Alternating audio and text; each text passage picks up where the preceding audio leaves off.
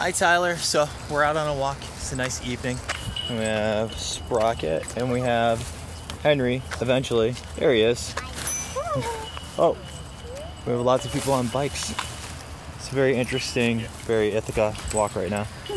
Anyways, I love you, buddy. Hope you're having an awesome Friday. Bye.